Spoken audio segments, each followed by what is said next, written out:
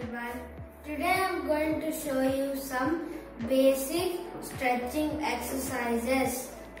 First one, head rotation. One, two, three, four, then five.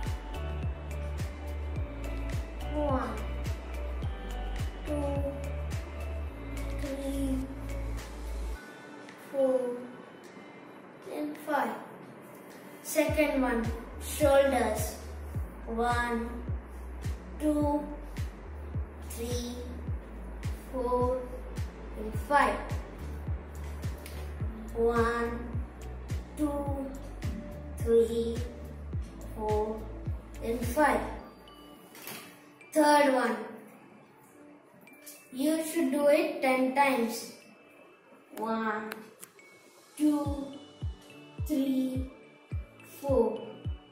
five, six, seven, eight, nine, ten.